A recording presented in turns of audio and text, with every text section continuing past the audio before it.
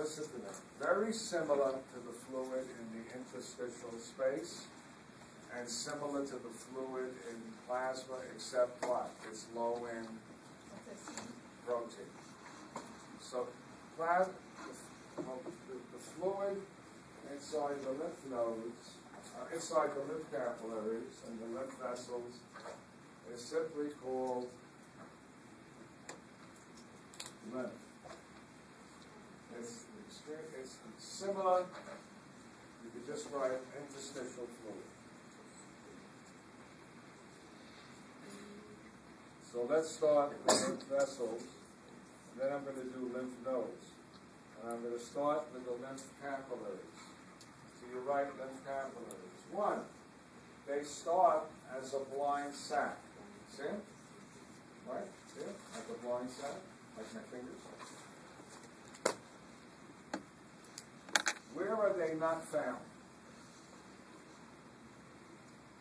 In avascular tissue. What does that mean? In tissues where there is what? No blood. Because why do you need them? If there's no blood, then nothing is leaking out. Which, name me some avascular tissue. Name me two that you just had on the cornea and the lens, right? They're organs, right? There's none inside the vitreous, which is just a band of jelly. You know where else you don't have lymph vessels? Lymph capillaries, rather, inside the central nervous system. There are no lymph capillaries in your brain and spinal cord. I'll give you two more. There are no lymph capillaries in your bone marrow. Don't need them. And last, there's no lymph capillaries in your spleen.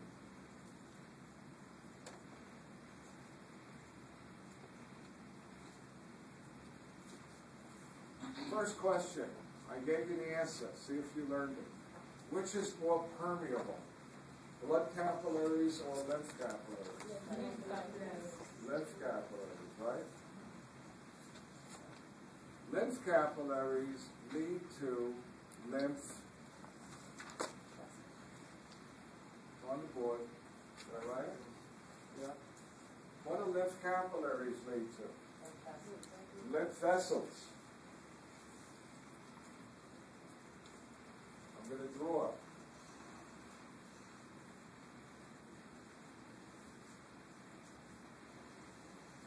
Easy. Lymph capillary, lymph capillary, leading into lymph vessel, which is thicker, it's like, it's like a vein.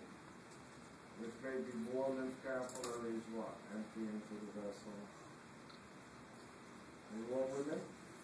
And then lymph vessels may join what? Other lymph vessels and make what? Bigger lymph vessels? You all with me?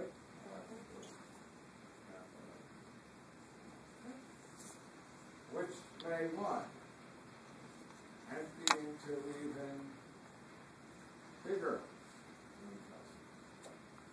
And there, and these lymph vessels the big ones have names that are very important.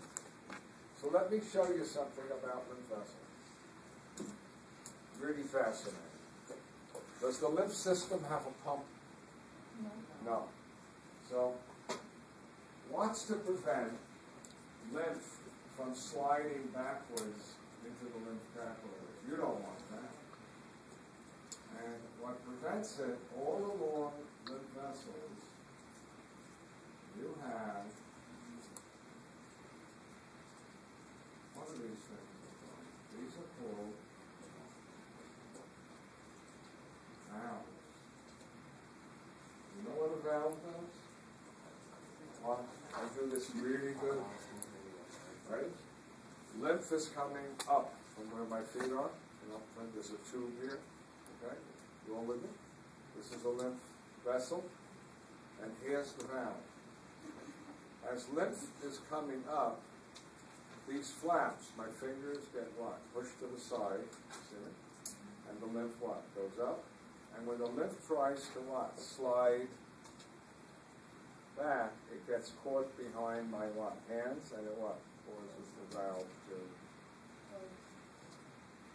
well, you all see that? Do it on the board? I did. As lymph is moving up, it's gonna push the flaps to the side. And now if lymph tries to come back, it's gonna what? Cause the flaps to come together. Not clever? And you, how many of these valves do you have? Loads of them. And, and your legs, particularly where gravity is trying to what? Send the lymph back down. You have a valve in each lymph vessel about every half inch. Okay?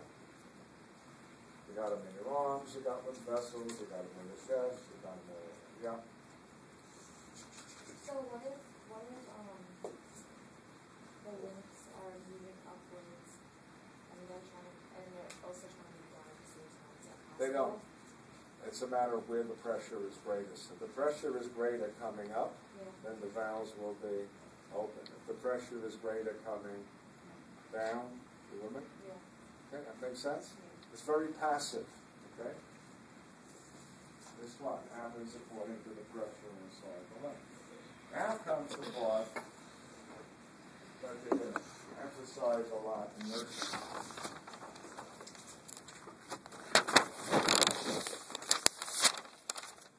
True or false?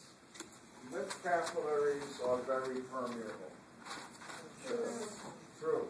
A lot of things can get in. Ooh. There's a lot, you know, when you eat a meal, you'd be surprised what crosses your intestine and gets into your body. Bacteria, viruses, drydomes, moles, whatever.